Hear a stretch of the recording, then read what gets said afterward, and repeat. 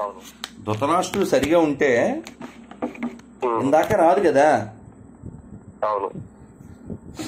So మనం పాండవులు కౌరవులు శత్రువులుగా చూ చూస్తుంటాం కదా.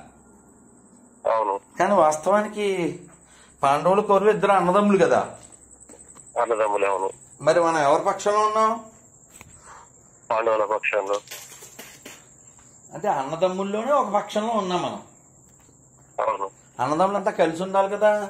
మనం మళ్ళీ అందులో ఒక పక్షానికి వెళ్ళామంటే మనం ఎడగొట్టినట్టే కదా మనం.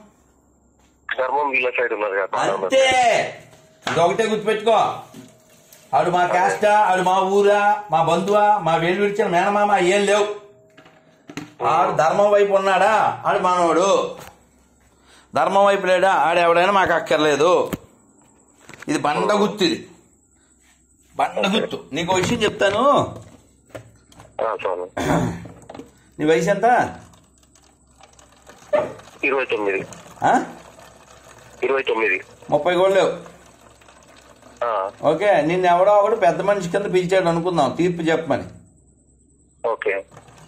As a gentleman. నువ్వు ఆ సమస్యకి పరిష్కారం చేయగలిగితే చెయ్యాలి. లేకపోతే. Sorry sir I can't do this అని అని పక్క తప్పుకోవాలి అవునా? అవును. అవునా? అవునవును. నువ్వు ఏం సినిమా అది మన? రోజా రోజా చూసావా? ఆ, చూసిన. అందులో పాట గుర్తుందా? ఏ పాట స్వామి దేశం మనదే. అవునవును. అది వేరే మన రోజా సినిమా కాదు స్వామి. ఆ? ఈ అవునా? ఎవరితో ఆ, రోజా కాదు ఆ సినిమా కదా. పోనీ ఏదో సినిమా అయితే విషయం అయితే ఏంటి దేశం మనదే. వినరా వినరా సాంగ్ ఉంది దాంట్లో. రోజాలో. మనదే మనదే దేశం మనదేరా సరే మొత్తానికి విషయం ఏంటంటే మన ప్రయారిటీ ఏంటంటే కంట్రీ అవును. నాకు ఆవిడ పేరు గుర్తులేదు కానీ లాంగ్ ఎగో అంటే కొన్ని వందల సంవత్సరాల క్రితం ఓ రాజుగారి అబ్బాయికి పెళ్ళి అవుద్ది. ఒక ప్రేమించిన అమ్మాయితో. అయితే ఆ పిల్లోడు యుద్ధానికి వెళ్తాడు కానీ మనసంతా ఎవరుంటారు? కొత్త పిల్లం. ఆ, పిల్లం మీద మనసు వాడికి. వాడు యుద్ధం చేయకుండా వెనక్కి వచ్చేస్తాడు. వచ్చేసి కబురు పెడతాడు వాళ్ళ ఆవిడికి. ఆహా వచ్చేసారా అండి? సరే మనం కలిసి కబుర్లు చెప్పుకుందాం. అనలేదు ఆ పిల్ల. ఎందుకు వచ్చారు అంది.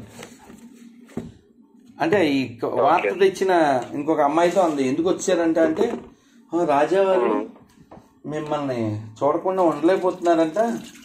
వారి మనసు యుద్ధం మీద నిలవట్లేదంట అంటుంది.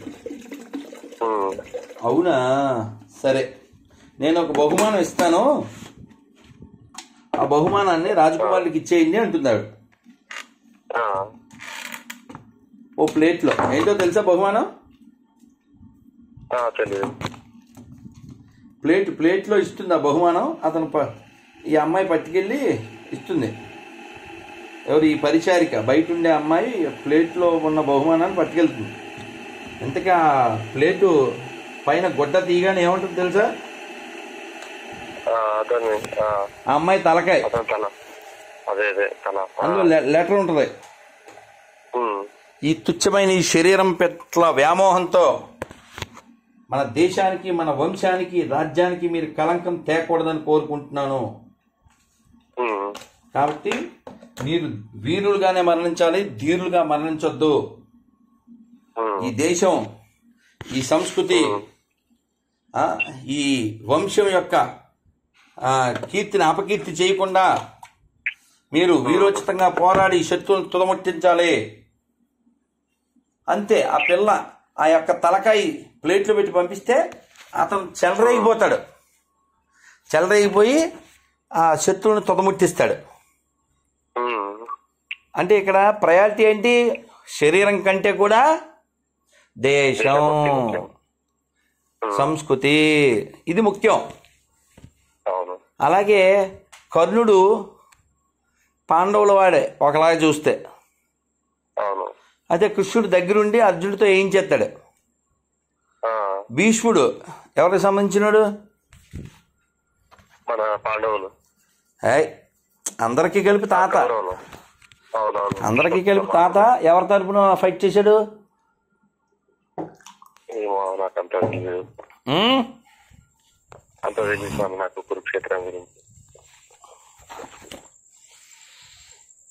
నువ్వు భౌతిక చదవలే అసలు?